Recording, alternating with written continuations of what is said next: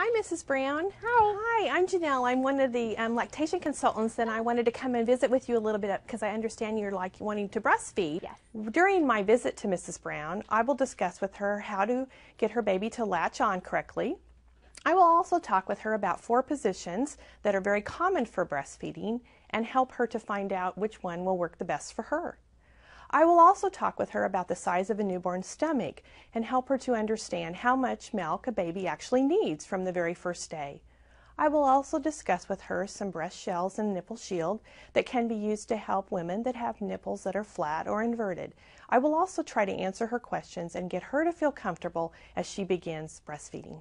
Um, and tell me, is there anything about breastfeeding you know or anything that you're concerned about initially? I heard it was the best thing for the baby and could help me lose weight too. Absolutely, you're absolutely right. And um, a lot of women choose to breastfeed for a lot of reasons, and it is a commitment. And there's a lot of things sometimes that we have to do to help you get started. But once you learn it and get comfortable with it, it really is the best way to feed your baby. And so there's a lot of benefits to that. So we're excited for you.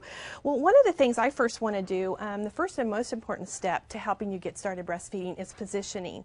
And you probably have seen women breastfeed in a variety of ways. One of the ways that um, I like to introduce, um, just to show moms initially, is that you can also breastfeed um, using the football hold. The baby would kind of go right underneath your arm and then the baby would be able to get a hold of your breast very easily that way. And it's very comfortable because it allows you to be able to do other things as well. It really works good also for moms that have had a C-section, and so many times we encourage moms to do that because it doesn't put pressure on their incision. So that's one way. Another way is side lying, which is just like it says. You would be lying on your side in the bed, and the baby would be next to you, and you would be able to feed it. This is very popular for nighttime feedings. It also takes the pressure off the incision again if moms have had a C section, but it also works for all kinds of moms, vaginal deliveries as well.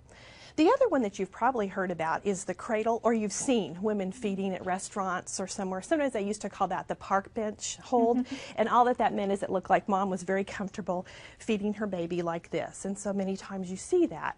It's very comfortable for mom. It helps the baby to get a hold of the nipple um, very easily, and it also takes um, it just kind of helps them give mom kind of a free hand as well. So you can do that. The other one you can do is cross cradle, which sometimes women will use as well. But it, with the cross cradle, you're actually putting the baby across the abdomen a little bit more and you're holding the baby's head a little bit easier so this hand's free and this head you can kind of move this hand helps you to move the head to where it can grasp the nipple real well so those are four different types of positions there's no wrong or right way to position a baby for breastfeeding, but I just wanted to show you some of the more common ones. Now that we've discussed positioning, I want to also talk to you about helping the baby to latch onto the breast, which is probably one of the things you've heard sometimes women have trouble getting the baby to actually grasp on. Um, and so I'll use my little model over here to kind of help you look at that. One of the first things you really want to do is keep the baby at the level of you. You don't ever want to droop down to try to get the baby to latch onto the breast. Some other ways that you can do that is you can use a bath blanket like this or a blanket you have at home or you could use like a pillow and just put it underneath. And it's a little bit harder for me to show you standing up. But if you were laying down or sitting up like you are, that would make it easier. That's going to be really important. There's also some of the breastfeeding pillows out there that you might have gotten for a shower gift or seen, and so those work really well too. But the main thing is to keep the baby up and positioned um, at your level. Another important technique when you're getting the baby latch to latch on is to keep the baby's nose opposite the nipple. And what this does is two things. It puts the baby tummy to tummy, which is really important. It also puts the baby's nose opposite your nipple. So what happens then is when the baby wants to latch onto the breast, it's able to go up top of the breast, which forces that nipple to go to the roof of the mouth and helps the baby to be able to suck or propel that milk out in efficient manner. And so that really helps to get that nice closed system going so the baby's able to do that. So again, it would be like this and the baby's able to do that. And so that's another trick that might help you as well. Do you have any more questions for me? I don't think so. Thank you. All right, you're welcome. I'm going to go ahead and leave um, this guide to breastfeeding. It gives you some um, examples of how to breastfeed and kind of just reviews everything I discussed with you. And inside is some contact information. So, should you need to call us for any other questions or concerns, we're available and it gives you the number to do so. Thank you. So there much. you go. Have a good day and congratulations. Thanks, you too.